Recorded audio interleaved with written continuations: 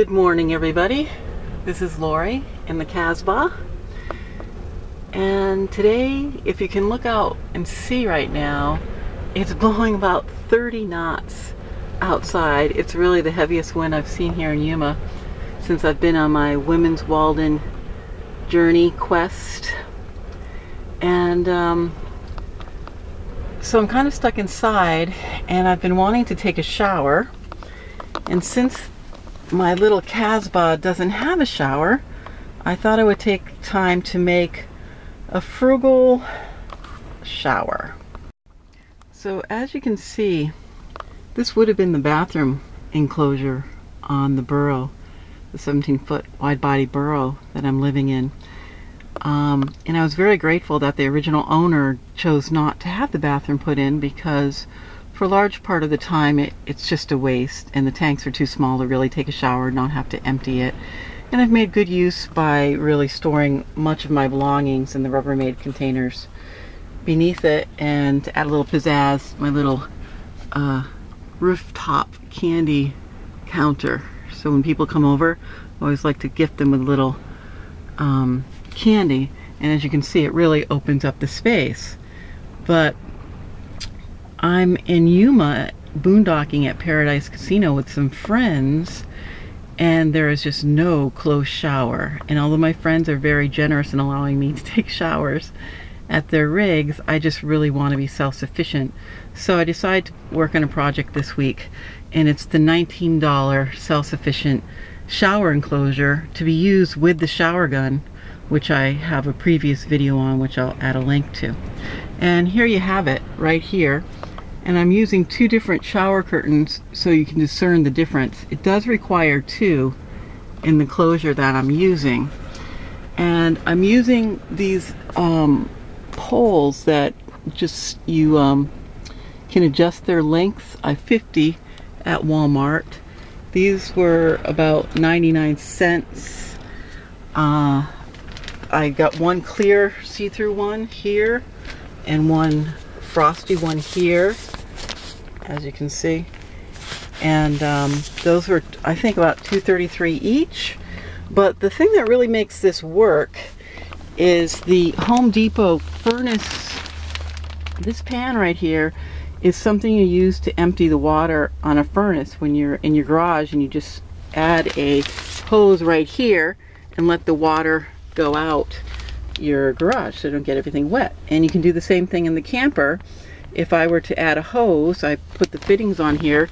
It comes with this fitting here, but if I put a hose, then I can just direct it out my door and put it into, you know, some kind of um, container to collect the gray water and then recycle it.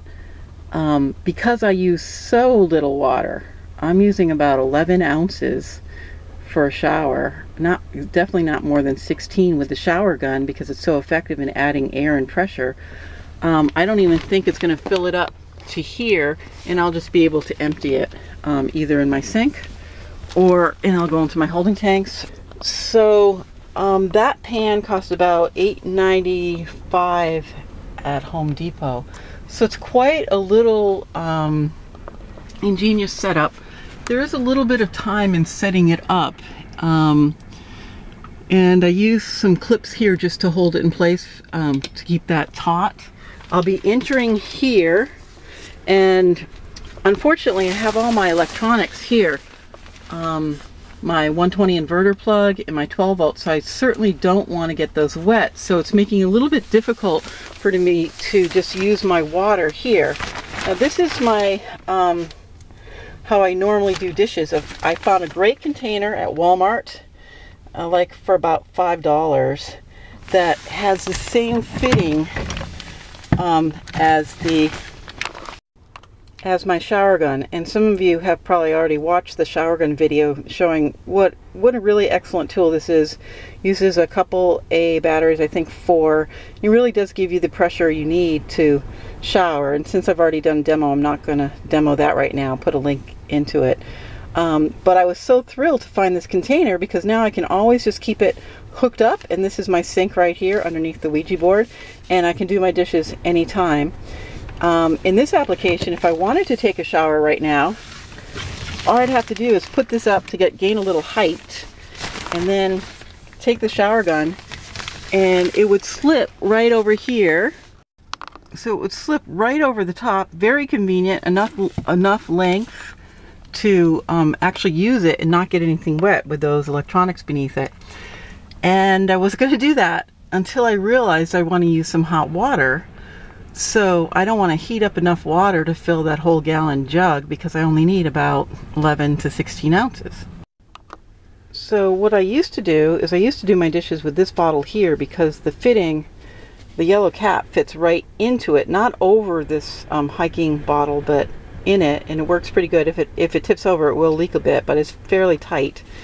And I put about that much water in there, and usually I can uh, have a pretty decent shower extraordinarily so. Um, but try it on your own, see what's comfortable level for you. Some people um, like more water. Um, but when I'm boondocking, I really have to conserve, and this really is meant for boondocking.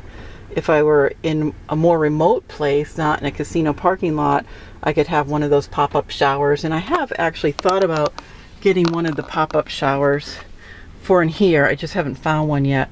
Um, I'm not sure how long this is going to take to um, put up in, uh, I do like the path of least resistance, so I might end up putting Velcro along the top here and Velcroing it there and Velcroing it over here to make the attachment points.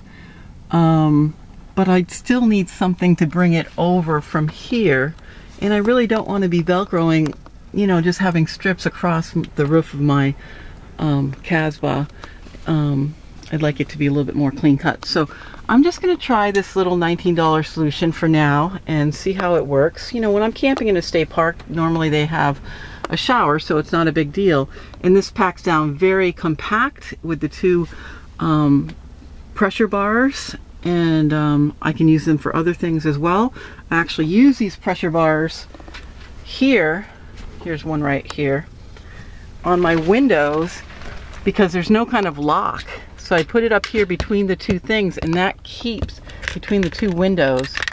I put it above so I can't see it up here underneath the curtain and that prevents from anyone from opening my um, windows even though there's no locks and it's really worked well so far. So what I'm going to do is I just boiled some water and I'm going to put half hot water and half just normal temperature water in here and that should be a good comfort level for washing my hair and such. And then I'm just going to try wearing this as though I would wear it if I were hiking over my shoulder in the shower so I don't have to worry about, you know, getting anything wet in the shower. And um, this would enable you to use it anywhere if you didn't have um, some kind of structure to hold your water like this then you can do something like this, which you can use outside as well. So as you can see, I have filled it up with 16 ounces of water. That should give me plenty. And this is the ball that picks up the water in the bottle. Just put that in there, like that. And then it just goes on like that. And as you can see, it does fit pretty tightly. And I do have to watch it I don't put it in too far or it actually gets stuck. But for a long time, this is all I had because I really couldn't find the standard um, size um, top for another bottle. And um, until just last week when I found this beautiful fitting. So this is about the size it takes right here. Um, and it does happen to be like a standard one gallon water bottle with the, the small top. Uh, not, the ones that like grape juice or apple juice comes in are too big. So as you can see, I can just wear it just like a normal water bottle and I'll have enough length to be able to use the shower gun in the shower. And since this is a PG video, I won't be showing you the shower part, but I will come back and report on how it all went.